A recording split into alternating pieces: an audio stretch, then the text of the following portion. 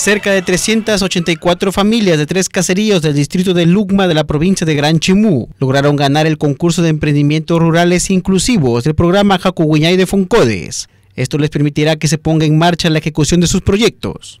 Con la idea que nos apoyen con, con implementación de lo que del negocio que estamos emprendiendo, que es beneficio para todas nuestras familias, el sustento, y que no sea la como se dice, la primera ni la última.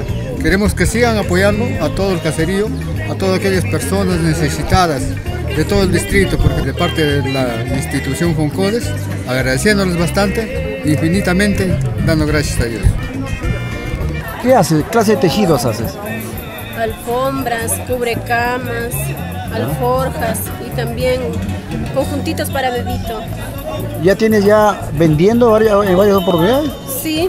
¿Y te va muy Hace bien? Hace tres años atrás que venimos vendiendo. Los participantes también presentaron su feria de emprendimiento y los usuarios de Jacuguñay pudieron exponer y comercializar sus productos elaborados por ellos mismos.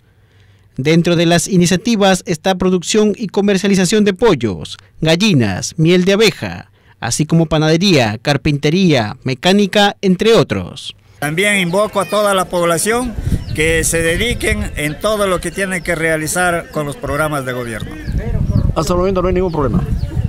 No he visto ningún problema que este, ocasione altos este, porcentajes de, de incapacidad en cuanto al desenvolvimiento de todos los programas que están acá en el, en el distrito de Luma.